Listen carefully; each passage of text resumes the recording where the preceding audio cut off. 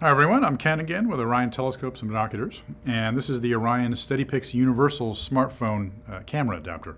It's designed to fit pretty much any smartphone on the market, uh, as long as it's, it's no bigger than about 3.4 inches in, in width.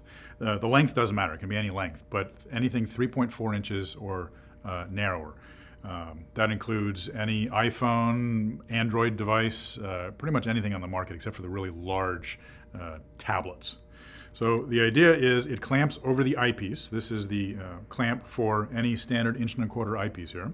So you'll take your phone. I have an Apple iPhone here.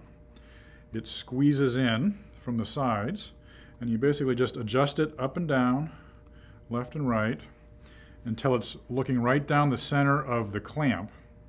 Lock it in place right there. Okay, that's locked in. And then it slips over the eyepiece here. Bring it right up to the center of the eyepiece and clamp it down. And now you can take a picture of what your telescope is seeing in the night sky. Very simple.